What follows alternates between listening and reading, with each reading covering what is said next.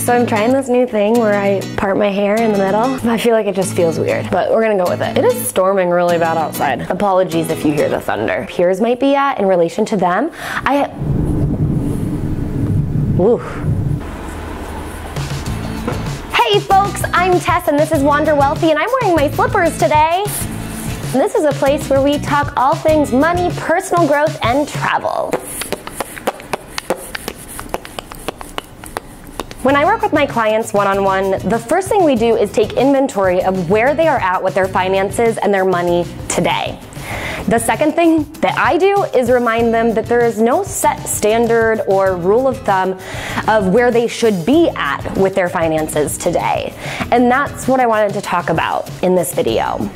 Especially if you're sitting down and you're talking to your peers, if ever you are comfortable having this conversation, I want you to remind yourself, and this is what I tell my clients, that everyone comes from a very unique financial background and they're all living a very individualized financial story from the money that they're making to how much they owe to how much they spend on a month to month basis, it's going to vary greatly. So their financial story isn't even comparable to yours. You're literally comparing apples to oranges when you're trying to measure yourself up to your peers. So my best advice is don't do it. So, where should you be financially with your money at any age in your 20s?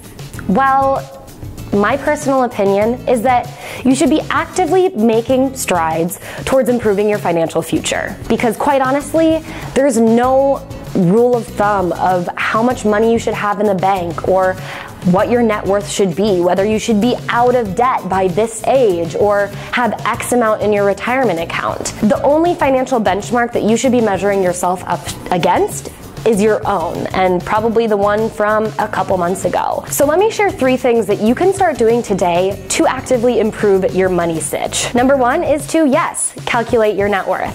Now there's tons of tools online that are super easy to use. I recommend Personal Capital. It's one of my favorites and it's a great tool that I can use to actively check in on where my net worth stands today. So what you do with Personal Capital is you create an account and then you link your bank accounts by adding your login information and passwords. This can be bank accounts, brokerage accounts, retirement accounts, and even your student loan, mortgage, and auto loan accounts. And then Personal Capital will automatically pull the feeds from those accounts and calculate your net worth for you, giving you a solid number at any given day of the month that you want to check in on where your benchmark is at. Personal Capital is completely free for you to use, and if you want access to it, go head on down to the description box below and click on the Wander Wealthy affiliate affiliate link. This will just let them know that I sent you, and if you sign up for an account, they'll reward me with no cost to you. Now, I understand if you're not totally comfortable with connecting your bank accounts on the World Wide Web to another platform.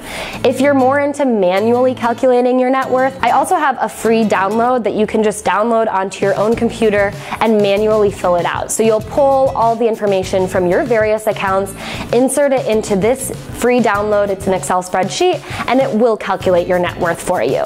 The second thing you can do today to improve your money sitch is build awareness. So grab a blank notebook or a new journal that you might have and start building in this daily habit. And that is to do two things. They're my two favorite things. And the first is a gratitude practice. What I do every single day is I list three things that I'm grateful for. And I make sure that one of them is sort of money related. And what I mean by that is just that I make sure to be grateful for the things that I have in my life that my money and my current financial situation can afford me today. And that doesn't necessarily have to be something that I actually bought, but it very well can be, like my daily takeout coffee. But it can also just be that it affords me to have some free time to spend with my family and friends. Maybe you're just grateful that you finally sat down today and calculate your net worth so you know where you stand. The second thing that I do is I really build awareness in what I'm spending on a daily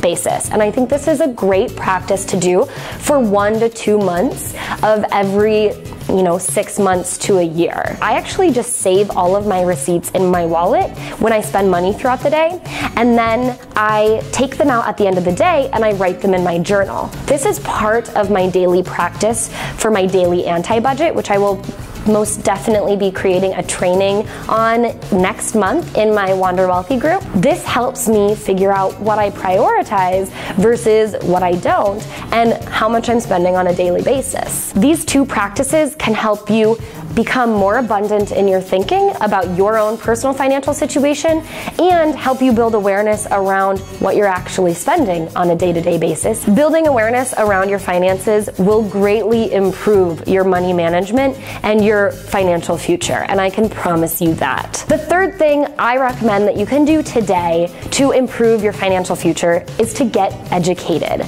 Now, of course, I'm going to recommend that you should surround yourself with people who are working towards towards very similar goals as you. And I definitely recommend joining the Wander Wealthy private Facebook community. Go to wanderwealthy.com slash FB and I will send you a message with the invitation to the community. You just click on the button that says invitation, please because you're going to be surrounded by other women who are working towards the same goals, towards improving their money situation, towards improving their personal development. And if you have any desire to travel, we talk about that there too. But you can also do things like binge on some of my YouTube videos or listen to my podcast, Words and Money. There's also other amazing financial bloggers and content creators out there, as well as authors that have really great educational resources and platforms that you should definitely dive into. By just becoming more educated on your finances, you'll start to work these little tweaks into your money management and your financial practices that will greatly improve your financial future. So spend 15 minutes a day consuming content on how to improve your finances. Find different topics that you're interested in that have to do with money management, investing, insurance, budgeting, whatever it is that you like to do, and figure out a way that you can start implementing that immediately to your financial situation. So to recap, the three things you can do is first, calculate your net worth and figure out where you're starting from. Second is build your awareness by practicing daily journaling for gratitude and spending. And third, get educated and surround yourself with the people that are working towards the same goals as you. I hope I can see you in the Facebook group, wanderwealthy.com slash FB. We're sharing our goals there, we're encouraging each other, and I'm sharing exclusive content for you, free trainings that'll help you achieve those goals in no time. And if you like this video, give it a thumbs up so I know to make more around money management management and achieving your goals. And make sure to subscribe to the YouTube channel if you want to get more updates with videos from me. Until next time, I hope you wander wealthy.